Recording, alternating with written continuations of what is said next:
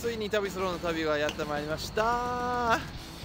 九州目指します。目指します。必ず着くわけじゃないんですけどお金がね5万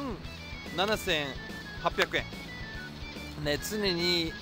約1万4000円ぐらい、まあ、ここなんですけどここはね岡山入ったところぐらいなんですけど一応大阪出て、ね、姫路でカメラマン拾って、ね、今から九州頑張りたいと思います。車が来るから走るのは危ないので車が行ってから言います。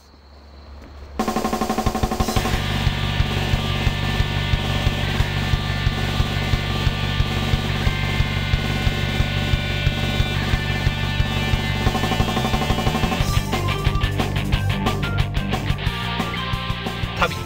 旅旅。要は行ったことない場所に旅スロの、ねまあ、一応記憶に変えることが目標なんですけど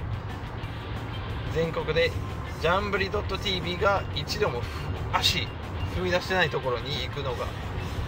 あのテーマなんで今回は九州そして途中にいろいろ今岡山岡山なんですけどね多分ジャンブリで行ったことないんですよね岡山は。